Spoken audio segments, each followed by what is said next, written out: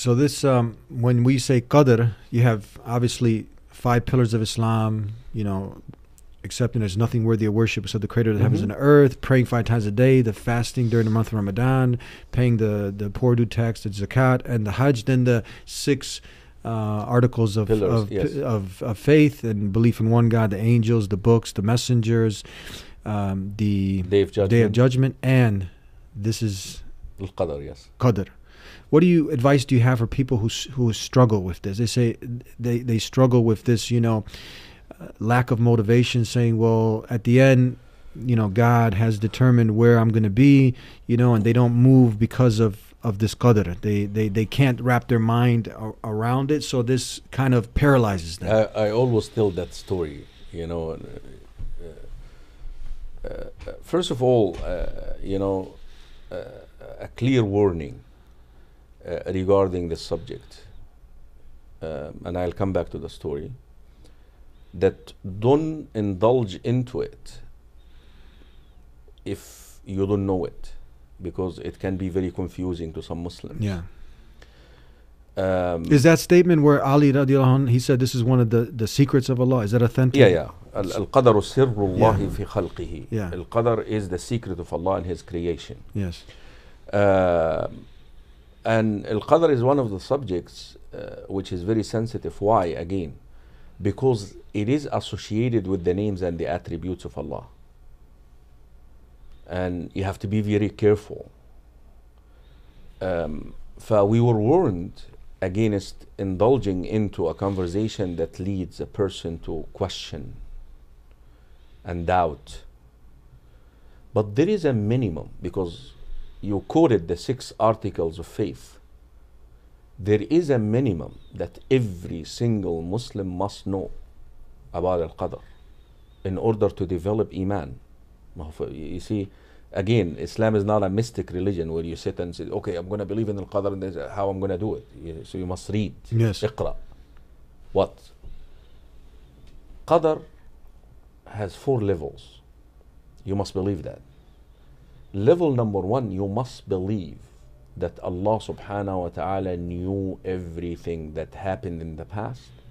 He knows everything that is happening right now as we speak, detailed, in details, He's not ignorant of anything. in details. If a leaf falls down, Everything. وما تسقط من ورقة إلا يعلمها. He- And he knows everything which will happen in the future. He doesn't have to read a book. No. Even the hypothetical. hmm It's the question, what if he knows it?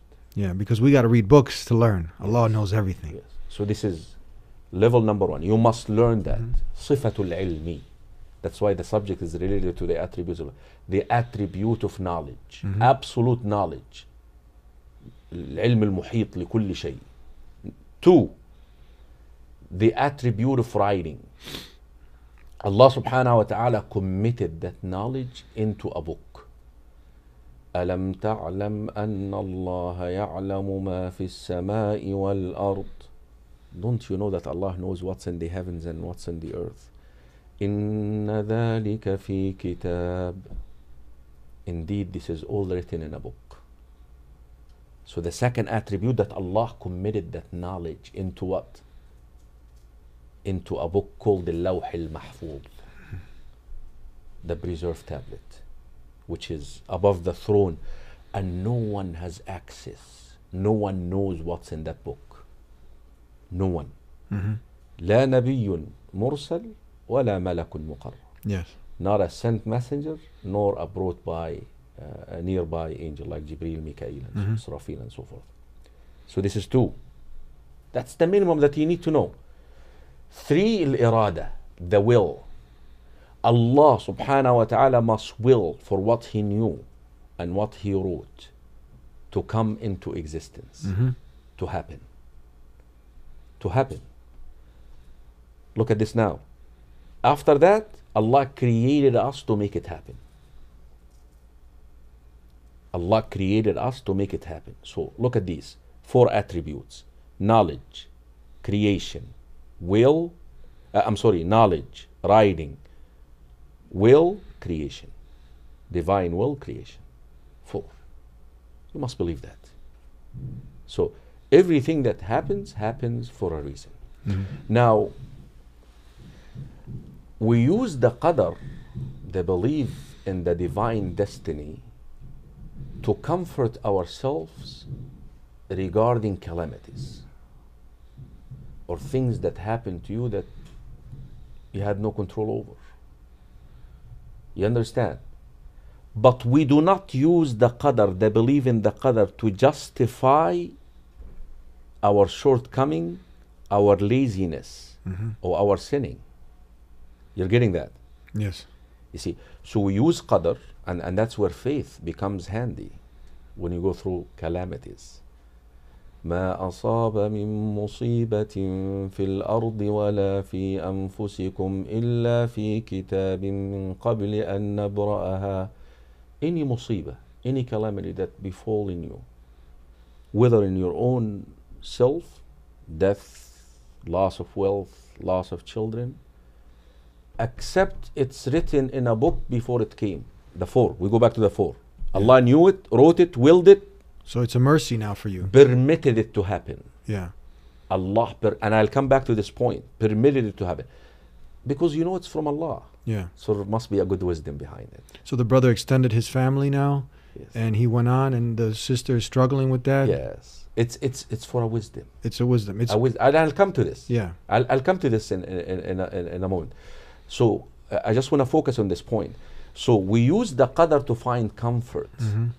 آه، وفي حديث أخرجه الإمام مسلم حديث أبي هريرة أبو, أبو هريرة رضي الله عنه The Prophet صلى الله عليه وسلم says استعن بالله ولا تعجزن Seek help from Allah and don't ever despair And if something befallen you وإن أصابك شيء if something wrong happened to you don't say if I would have done this this would not have happened Mhm. لا تقل لو أني فعلت كذا لكان كذا وكذا why لأن لو because if تفتح عمل الشيطان will get شيطان to invade you to question Allah's wisdom why didn't I do this why didn't I save my son why didn't I save my wealth why didn't I make the right business decision rather say قدر الله وما شاء فعل Allah has ordained, and whatever He ordained came to pass. Mm-hmm. Qadarullah. Yeah.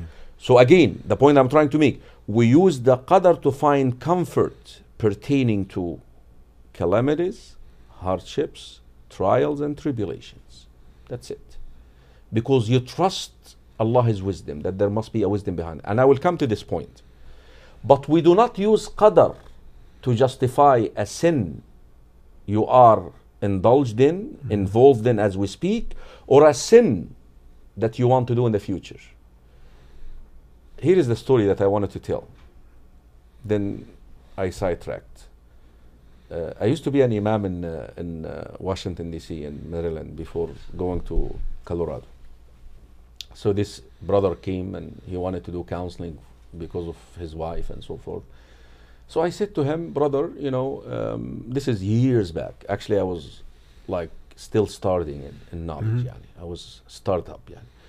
Um, come after Asr, inshallah, let's pray uh, Asr and then I'll sit with you. Um, um, so we prayed Asr and I led the Salah and I looked at the congregation behind me. I didn't see him. So I said to myself, let me go to the office, do some paperwork, and, and hopefully, you know, he will show up. If he shows up, khalas, we'll sit. If not, then I'll go home knock, knock, knock. Here he is. Salaam alaikum, Sheikh. Salam barakatuh. Uh, I'm here for counseling. So I assumed that he did not pray Asr.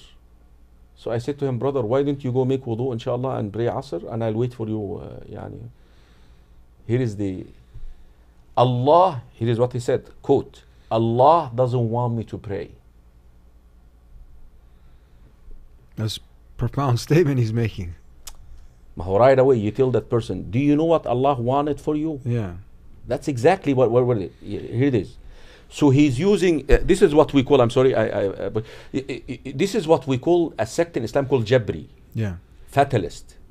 You know, during the time of Umar ibn al-Khattab, radiallahu an, uh, a man stole, and he used to establish the uh, criminal punishment in him. So he said, Ya Amir al-Mu'mineen, you can't establish the criminal punishment on me because I stole, because I stole biqadarillah. It was my qadar to steal. And Umar said, I will execute the penal puni- the, the, ca- the, the, the criminal punishment of a, a thief on you بقدر الله because of قدر الله too. ف, quite frankly, at this time, I was not very well versed in the subject. So I again, that subject is a very sensitive and Yes. if if you go into the subject, you must have the pedals. You know, like somebody goes with a boat in in, in, in, in the sea. Mhm. If you don't have the right to come back, you get in trouble. yeah. You you got to be. But Subhanallah, Allah Subhanahu wa Taala has guided me to make that statement, which later on I found out was deep. I said to him, "Why don't you stand up and go to the bathroom?" And make wudu and pray asr and say the same statement that Allah wants me to pray. Mm, that's pro- even profounder. Yeah. It's the same thing. Yeah and this is what is what's in the Quran in Surah فَأَمَّا مَنْ أَعْطَى وَاتَّقَى وَصَدَّقَ بِالْحُسْنَى فَسَنُيَسِّرُهُ لِلْيُسْرَى You said, why don't you go and make wudu and pray and, and pray, say Allah wants me to and pray. Allah wants me to pray. Now you reversed it. Because you don't know what Allah wrote for me to, for you to begin with. Do you know what Allah wrote for yeah. you? ولذلك العلماء the scholars they say يحتج بالمجهول ويترك المعلوم. He is using the unknown as an evidence he doesn't know it. Meanwhile, he's rejecting the known that he Allah sent you a messenger telling you that you should pray in order to be happy in this world, not depressed, in order to go to Jannah in the hereafter. Clear- So which one should you take? Clear evidence or your uh, No, no, no. desires? Known evidence. You have a known evidence. Known clear evidence. and and so you reject that and you use what your desires. well the desire is the base but you're using unknown, you don't know yeah. what allah wrote for you Yes. فاجين we go back to the but when we when we debate with fatalists وال- لما تت- تتجادل الجبريه uh, when you talk to them about that stuff they always use a very interesting hadith والحديث في البخاري a conversation that happened between Adam alayhi salam and Prophet Musa. And this is not Israelites. This is authentic Israelites because the Prophet told us about. When they met the night of the ascension, Mhm. Adam, uh, Musa met Adam. and he immediately said to Anta Adam, you are Adam, our father. You are the one who got us out of the garden because eating of the tree. So uh, Adam looked at his grandson with a oh, with wisdom, you know. and he said, Anta Musa, you are Musa, my grandson. Uh, Allah wrote the Torah for you, giving you the Torah. Didn't you read in the Torah that this was written upon me? Pay attention here.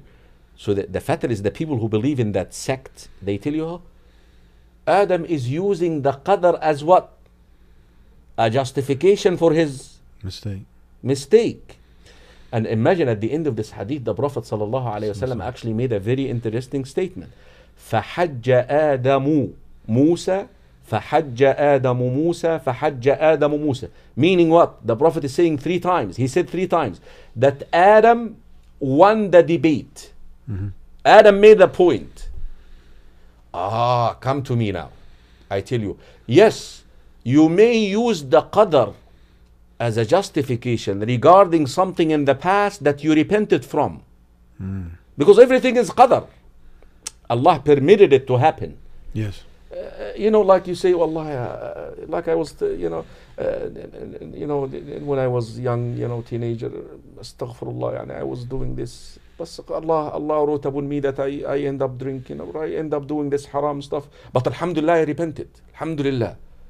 So using it what? Not being boastful about it, but you're trying to let people know that you can be a sinner, but but you cannot use the qadr regarding a sin that you're committing now Uh-huh. or a sin that you're planning to commit in the future. Yes. Are you getting this? or- Absolutely. Yeah. Now let's come to the issue of Allah subhanahu wa ta'ala willing certain things that we don't like. That Allah knew, wrote, willed it, and He actually permitted it to happen. You see, out of respect, we do not attribute evil to Allah subhanahu wa ta'ala. Uh, that is why when we say believing in al-qadr khayrihi wa sharri, believing in al-qadr, the good of it and what we consider to be evil. The scholars they say we have two types of evil. Sharrun mutlaq, absolute evil. What does it mean, sharrun mutlaq? Zero goodness will come out of it. And there is another type of evil that they call sharrun nisbi. The best way to translate this in English, purposeful evil. What does it mean? You see it evil, but the end result of it will be good. It has some purpose behind it. There is a purpose behind it. Purposefully. Allah subhanahu wa ta'ala will never permit the first type to take place in earth. Absolutely not. No way. Only human can do uh, absolute evil. That you, you go and do something that, but Allah, no. Never. Will never permit. Uh, uh, and uh, the Prophet wasallam invited us to read every Friday a chapter called Al-Kahf. In that chapter, there is a story out there. If you reflect upon it, it explains this. It sends that message to you. What story? Musa and Al Khidr.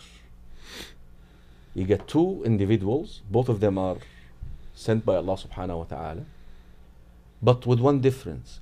One of them sees with the eye of divine tomorrow, and the other one is judging what he sees based on now. Mhm. You understand?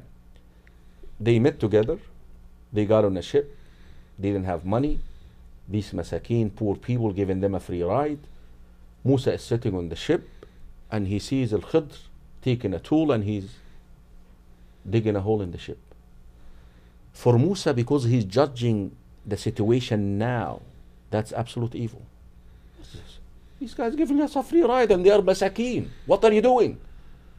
But you see, Al Khidr has an extension to what? Allah revealed to him why he should do this. Mhm. He's got the whole picture. Yes. And that's why look at the word sabr. How many times it's repeated in that in that Mhm. segment of the surah. ألم أقل لك إنك لن تستطيع معي صبرا ألم أقل لك إنك لم تستطع معي صبرا Haven't I told you that you're not going to be patient with me? And that's the issue. That that's why when we're when we're, we're inflicted with a calamity, we're supposed to do what? Right away. الذين إذا أصابتهم مصيبة قالوا تسترجع وتصبر. Be patient. Be patient. Allah will show you the purpose later on. Mhm. That is why the Prophet ﷺ described والصبر ضياء Abi Malik al-Ash'ari, hadith of Imam Muslim. Sabr is light. Why? Because of your patience, Allah will make you see the wisdom. Mm-hmm. So they get off the ship. Look at this calamity now. They are walking together, and here is some Israelite, if you like Israelite. Huh? Al Khidr goes and he grabs a little boy under the age of puberty and he separates his head from his body. This is absolute evil Imagine this. This is, I mean, قتلت نفسا زاكية. One of the, the قراءات. زكية. You know, we believe as Muslims that children who die before the age of puberty are what? They go to Jannah. There is actually a consensus about this. There's actually a debate amongst the theologians, you know, the, the, the, the ulama al-usul, the scholars who, who, who teach the usul, the fundamentals of the religion regarding أطفال المشركين, the children of the mushriks. Mhm. if they die before the age of puberty, there is a question mark that they could go to Jannah too because they are not accountable. Because accountability in Islam kicks off when? when at puberty. Yeah. At, at, puberty. But we believe as Muslims that, but you cannot identify, you cannot point at this child and say he's going to Jannah. You can't say that. Mm-hmm. Ala itlaq. You have to do it strictly, without yani, identifying. So Do you consider uh, Khidr, do we consider him a prophet? he's a prophet of Allah Mhm. and I know some people don't like this يقول لك مقام الولي فوق النبي the status of a wali above the this is a come on get get alive he said وما فعلته عن أمري I did not do this on my own I was receiving commands from Allah who receives command from Allah but a prophet Mhm.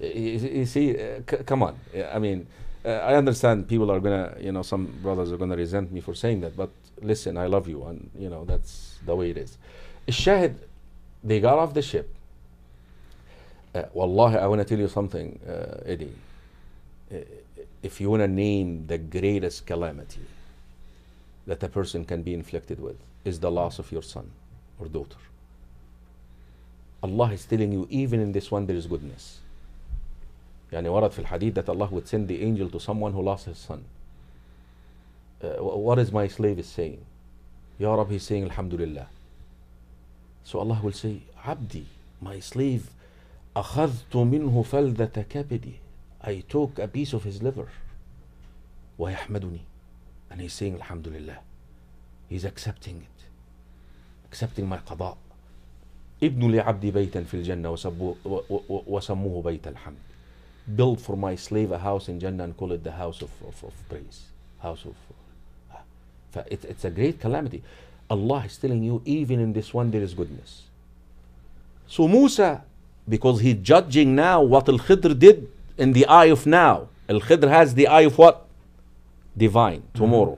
But again uh, uh, we go back to these brothers. Al-Khidr doesn't know all the knowledge of the unseen. Allah subhanahu wa ta'ala gave certain people certain bits and pieces of the knowledge because they don't say that he knows everything in the past. No, no, no, no, no.